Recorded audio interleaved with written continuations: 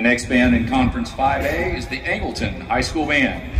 Their program is entitled Dehumanize, featuring music arrangements of Dylan Toombs and Benji Baker, drill design by Harold Sedano.